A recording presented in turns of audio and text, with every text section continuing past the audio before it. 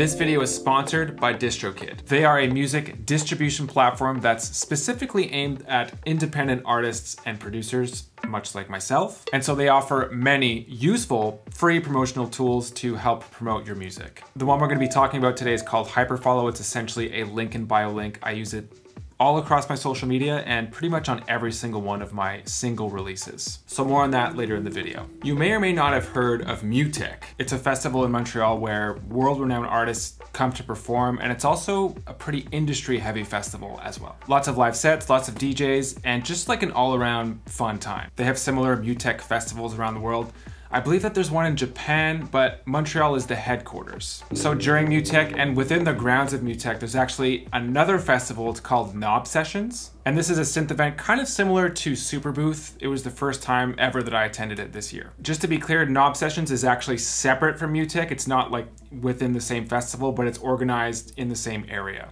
So with Knob Sessions, essentially the idea is different synth companies come in and showcase their gear. It's not comparable in size to Superbooth, but there were actually some companies that showed up to Knob Sessions that didn't show up to Superbooth. Uh, mainly Roland is the first one that stands out to me. And I don't think that Udo was at Superbooth, although I could be wrong on that one. I might have just missed them. So this video is just about the gear that really stood out to me at Knob Sessions, and we're gonna start with synth number one. Udo Super 6. Udo sells a full keyboard version of the Super 6.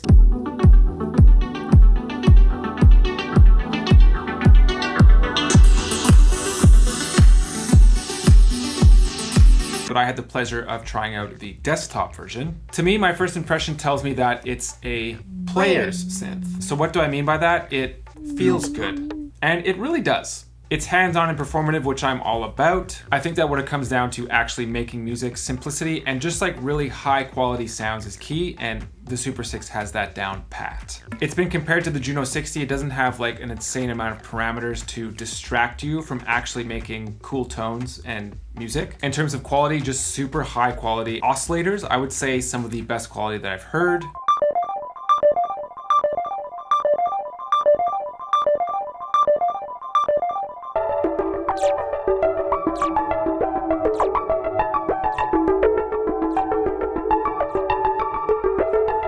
Personally, I actually don't have like a super high quality analog synth in my collection, so this is one that I've been checking out. But of course, with quality comes a very high price, and that's I guess one thing I don't like about the Super 6. the thing about these events is that you can't legally take the piece of gear home with you. So you have just like a first impression of what it sounds like, what it feels like, what it looks like. And you only have a few minutes with a given instrument because there's like pressure from other people. They want to try it out as well. So you're relying on your first impression. Apparently there are some bugs that have been corrected, but as old bugs get corrected, new ones appear. Before you couldn't remap the mod wheel, which has been corrected with an update. There wasn't a binaural PWM until an update, so that's something else that was fixed. There's no true mono output mode.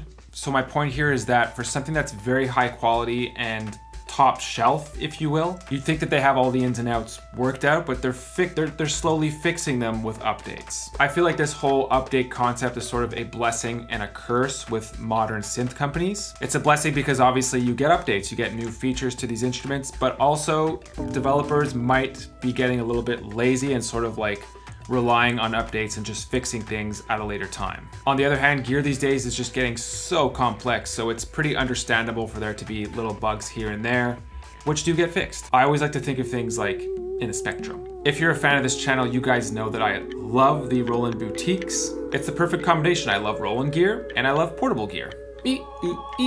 I've done quite a few videos on the JU06A. It's made it into maybe three of my five latest single releases. I'm also a huge fan of the TR6S, which is a Groovebox slash drum machine.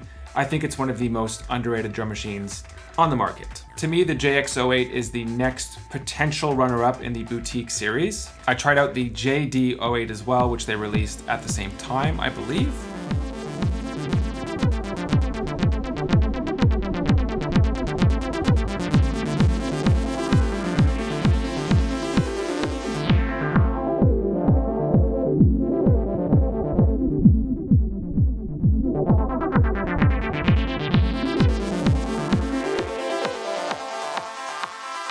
As I mentioned earlier, it could just be because the JD08 has more like controls, more knobs, more faders which is why I didn't really gravitate towards it given the environment. But I did gravitate towards the JX08, maybe because I used to own the JX8P, so I'm familiar with the sound, and there's less controls, it seems a little bit easier to use, at least for me. The JX8P was like smack dab right in the middle of the 80s, so that's that's the sound. Compact, not too many buttons, just the right amount of control that I like. You can get some counterpoint going with multiple voices. And honestly, I think for the purpose of this video, the best thing would be to just show you how it sounds. My buddy Dustin, who is a rep at Roland, put together this jam with the TR8S as well as the JX08.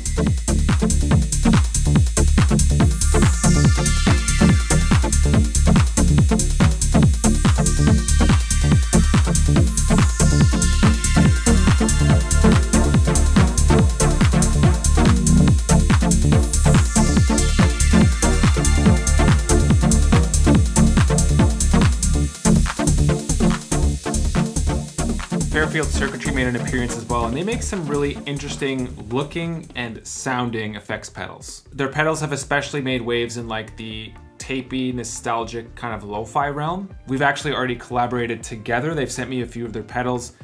This one really stands out to me. So this is Shallow Water. Everyone, Everyone seems, seems to love, love this thing. I find that EQ wise, it just enhances everything. It's sort of sucks everything into the middle. So you are losing a bit of low end as well as a bit of high end, but those mids just sound so crunchy. We're gonna try it on this OP1 loop.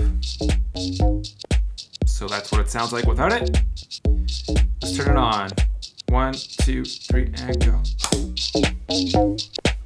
See how it just sucks everything in? There's also like a warble effect, which I have control of here. I can control the weight of the warble. Sorry, the rate. And there's a low pass.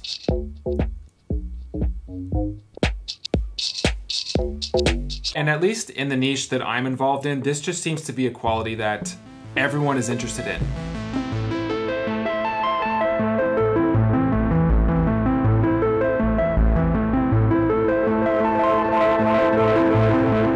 Empress is another audio effects pedal company whose headquarters is like an hour away from my place. I own their Echosystem, which I guess at this point can be considered an oldie. That's another pedal that just sits so well in my setup. You can run multiple effects engines in dual parallel, dual serial, or just left and right. The quality is like some of the best I've ever heard. It's just tremendous. And in many instances, I'd actually prefer the Echosystem over the microcosm, which I've raved about a bunch. I've actually done a much more thorough review on it as well. Here it is. The last item here that caught my attention is not really something that I personally would buy. My studio is just way too small to support it. It's called the Tower Spring Reverb by the company Screwed Circuitz.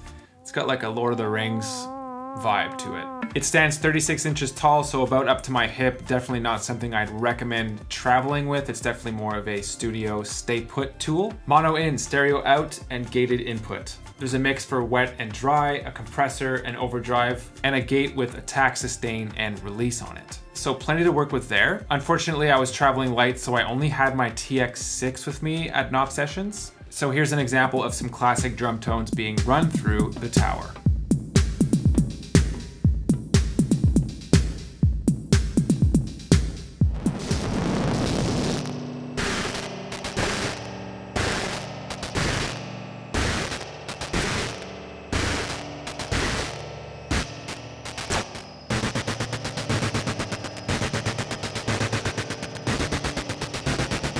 Again, something that I would love to purchase, but I just can't fit it in my studio. It definitely caught my eye, which is why it's on this list, and so I thought you guys might be interested too. And speaking of eye catching, have you heard about DistroKid?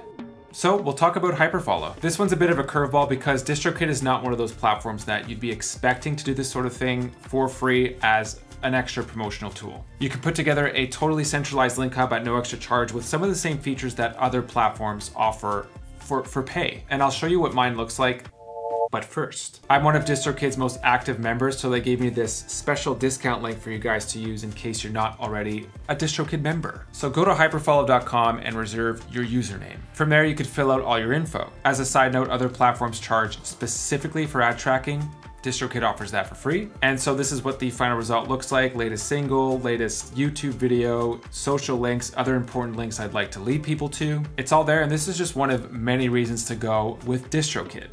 So obviously not quite the size and stature of Superbooth, but still I was super glad to attend this event. For someone like me, and potentially you if you're watching this channel, I think it's always just interesting to see what's out there. Sometimes you see like trendy gear on YouTube, but it's not all here. There's always something you don't know about, maybe like smaller companies that are sort of just like slipping through the cracks that have great gear. And an event like Knob Sessions is just like a perfect environment to check out all these instruments. So my point, go to synth events. If you're interested in purchasing any of the gear from this video, I've left affiliate links in the description. If you end up using those links, I actually make a small commission from that sale at no extra charge to you. So use those links, it's the best way to support what I do, or one of the best ways. You could also subscribe, like this video, share this video, join my Discord. We like to shoot the shit about synth stuff. Be great to have you there. Hope that you enjoyed this video, and I hope to see you soon.